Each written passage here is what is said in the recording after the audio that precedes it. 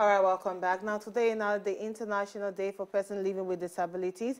Now, we don't talk about some of the challenges whether they actually face for inside Wimbledon, Nigeria, and how the law they never stay enforced and for some states.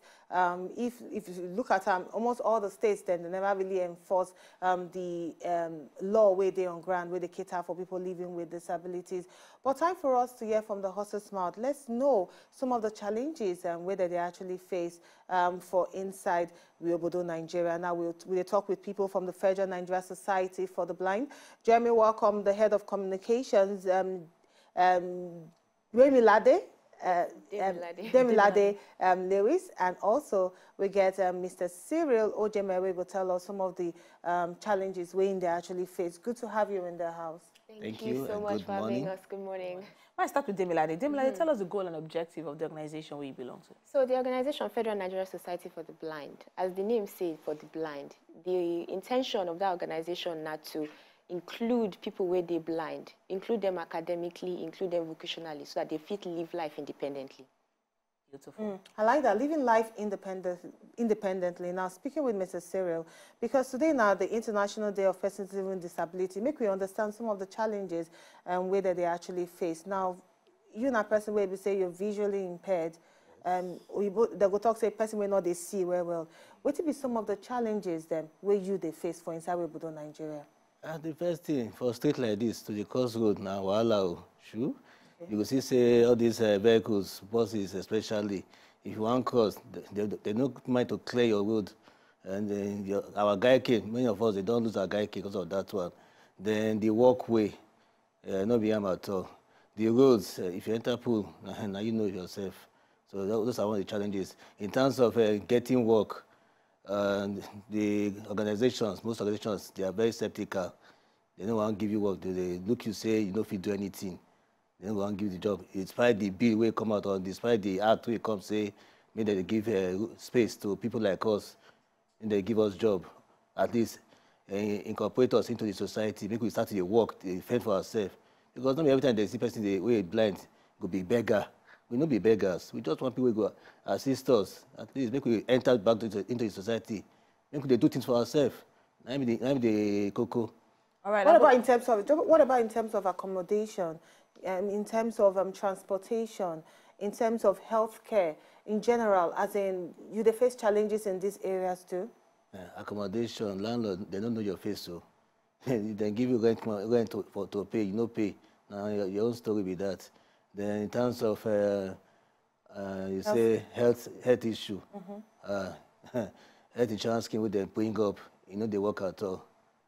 Different story. If you no get money, you no pay like that. Now you know.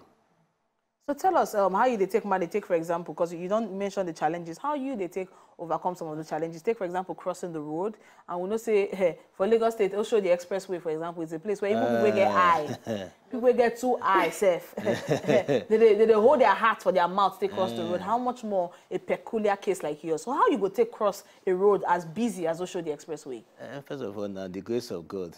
Then secondly we get some good Samaritans where they will just see a person like us one cross the road They'll quickly come to our aid, say, okay, oh, you want cross? We say yes. It was every way they, they ask yourself, which would, how are they from out to? Because you know who they talk to you. You know, you say you want cross go, next thing they carry us enter bush. There's no, no that kind of thing. God forbid bad thing, So such people now, they will assist us. They will stop the traffic for us. Or they'll tell us, say, yeah, on your mask, get set, go. You work out like that. So now so they do our own. Oh. So they're, uh, they're randomly now random people they always they, random people random people they always need to help. Yes. And in the issue of um, a hospital now, how do they take worker or going to the bank, how to use the ATM? I mean, that's these are normal, regular things where people wait get. I don't even think I'm saying now something they need to think two times to use the ATM machine. Person like you now, how you they take use ATM machine and how you they take feel which currency different for? Why you they take no wazo wazobia at now wazo 50 naira uh-huh. from 100 naira from 200 naira note from 500 naira note? How you they take leave a normal life, just doing your regular, because I'm trying to understand how it works for you. Uh, that's another story for another day. Make I just brief you. For ATM self, it's also get talk back so that by the time person go they press button, you go they tell everything they do. But ATM will tell anything. You tell, after you don't take the money finish, you will tell you thank you for banking with us. That's time we need. To enter bank, and they will tell us, say our white cane, our white cane. I beg you hold on first. they will press one button for inside before the gallows enter because the metal detector go tell say you dey hold something. Then this one na weapon. Abi no weapon o na na our guide. Na him be our eyes. Then in terms of uh, although bank people dey dey try sha o i no go lie for them. They dey try. Once they see us like this they quickly dey attend to us. Make we quickly waka comot. Dey try for that one. For holding of money i would like make uh, make the government at least if na to put brain uh, na one kind of uh, language wey we dey understand put am for money so that we go dey feel am say okay this one na fifty naira. Because if you give me money now i get to show person wey get the eyes. I say abeg wetin i dey owe how much be this one o if person no get uh, conscience you tell me say na two hundred naira whereas na five hundred naira. Then like like some my people if dem wan buy something like that those people no get conscience they go give them five hundred naira they go say na two hundred naira. They go keep the uh, keep three hundred for themselves give them back the two hundred naira who lose na we dey lose all the all the same so government also help us with that one put braille for each money say okay this one na fifty naira this one na hundred naira that one go help us well well. Mm. Now, let me speak with Ms. Lewis now. Hearing some of the challenges when they actually face, and I know it's not the first time we've done the ERAM, a lot of them get the similar um, challenges. Yes. Now, as the head of communications, how you don't take relay these challenges to government and how they don't take support in ensuring, say, some of these challenges, they reduce them to a certain um, level? Okay, I'm very glad that you asked that question. So this past October, we get our White Cane Safety Day walk. And the purpose of that work now to let the society know waiting this white cane, the purpose of this white cane. As Cyril don't say, many people don't know what the white cane is. Even right of way for road now problem. So one of the ways society they really push now to get some type of law where it protects people where they're blind. So that in case their rights are violated, say on the road, people can get fined for it. So we went to the Lagos State House of Assembly just this past October. We sat down with the you know, the people of the house. And one of the things that we proposed was a white cane safety law.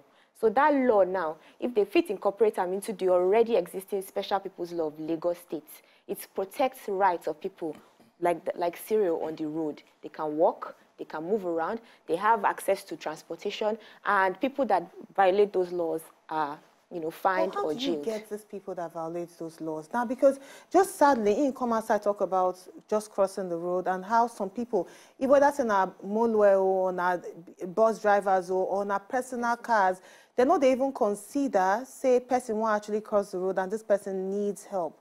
So how you go take find those people who violate the law as regards to that? So now, now, the, now the thing what we do here, now just going online, going to social media, going to radio stations, going to TV stations, having jingles and government support to really publicize and push forward this tool. And this is just one tool, like he mentioned. Exactly. He has already mentioned several different areas, mm -hmm. but this is just one tool. This is the most basic. You and I have legs, mm -hmm. we have mm-hmm. eyes, we fit walk, we sure. fit go anywhere. Mm -hmm. This one are their eyes.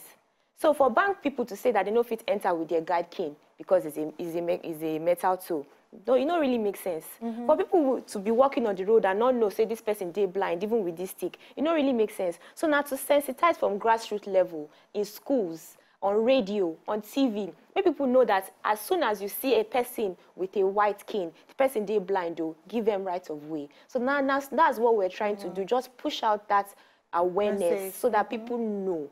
The more people know, the more they will be aware.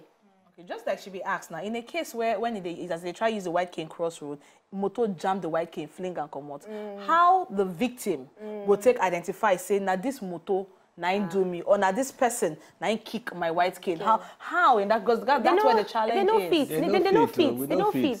Just like how when person jam car Okada mm. jam car. The Okada fit run. Yeah, yeah but the Okada run, we will get I fit see the Okada. Yeah, but, if but in their own situation, they no fit see. In that right. Maybe they side, maybe they sad. They say for developed countries, they mm. get a lot of cameras on the road on the to road. actually ascertain yeah. when things happen like this. But despite the project we don't put on ground, the money we don't put on ground for CCTV, and that's still a major challenge. But still talking to you yes. as the head of communications. Now, he mentioned something about job.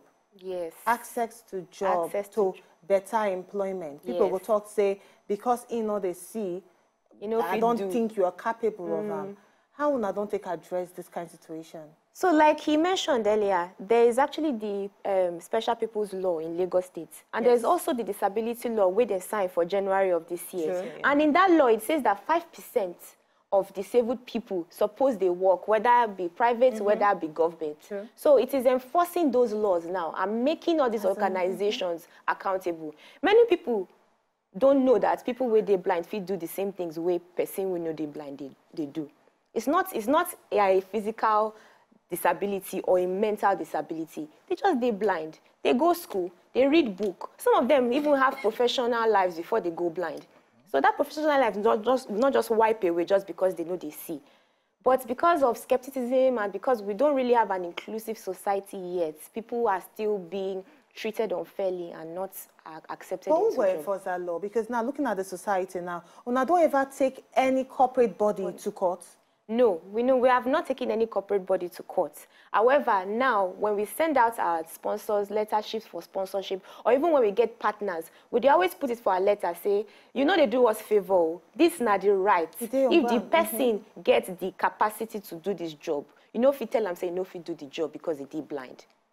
So now we they put them before you know before the law was put in place, we had to still be playing nice and appealing and you know. But now with the law they on ground, we they stand firm on it.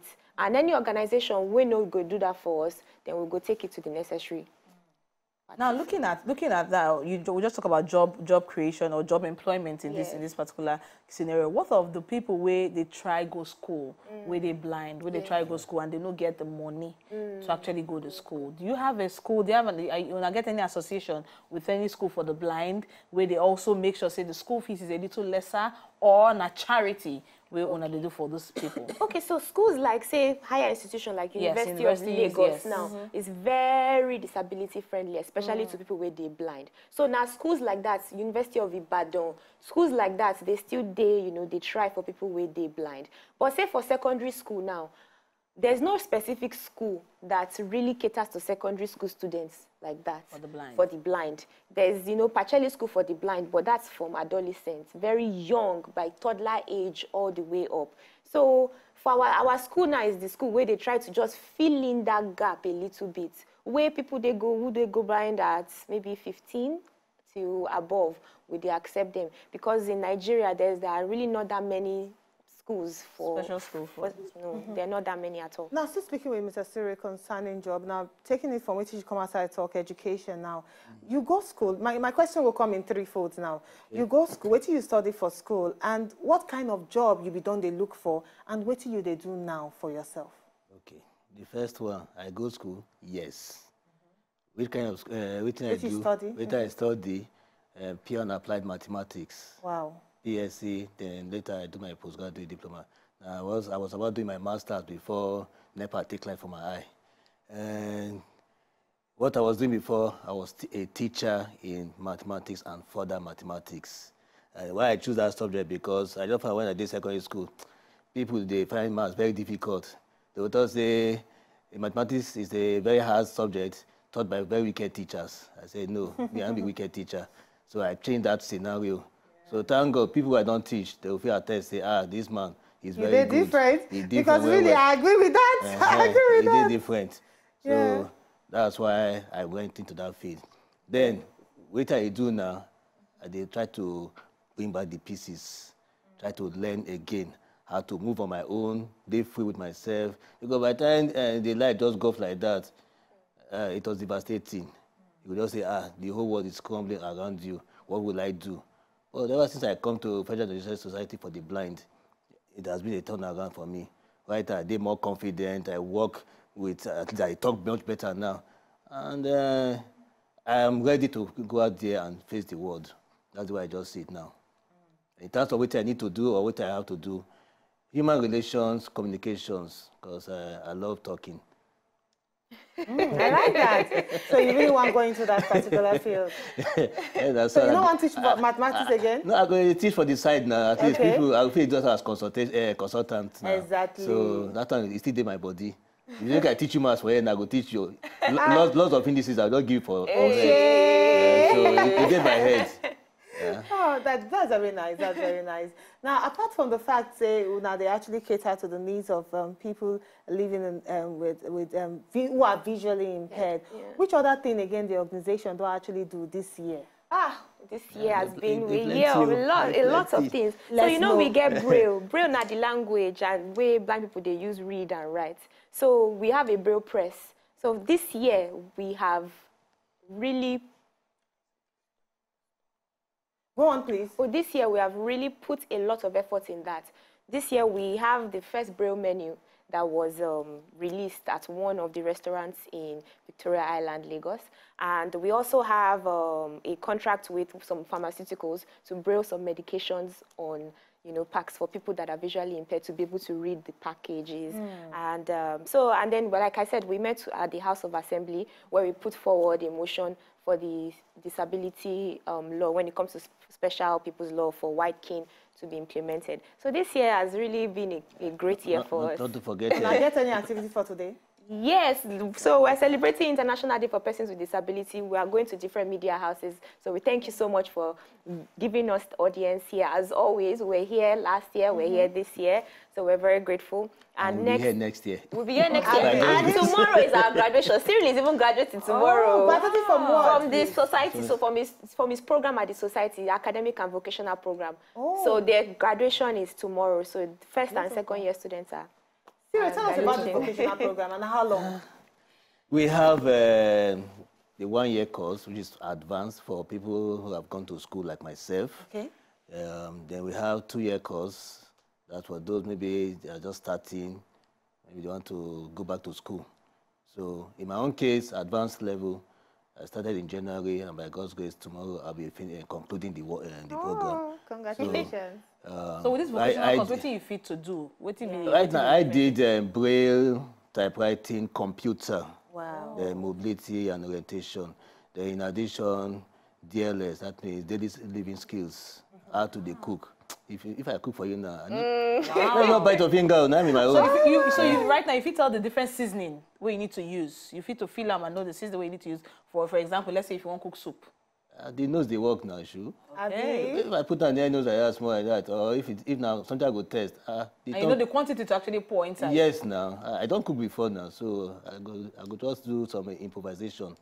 Beautiful. I like that. Now, why, before we actually end this interview, now, why would they actually handle people, um, outsiders, and the discrimination where they come with people living with disabilities? Let's talk about your inner cycle, your family, your friends. How do they support you to help you, um, knowing fully well, say you did visually impaired? You get very Eh. supportive family.